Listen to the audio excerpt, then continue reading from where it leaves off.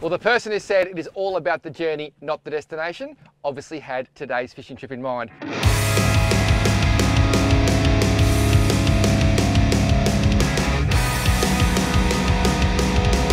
We're going extreme, at the end of the day, all I want is one trout.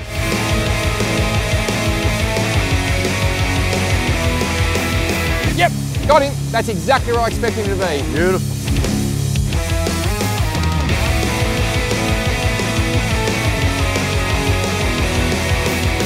Soon as the first cast goes in, that is a beautiful brown trout. What do you call this, love? Okay, spit roast pork in the bush. How good is this? I can actually see the fat dripping off it into the fire.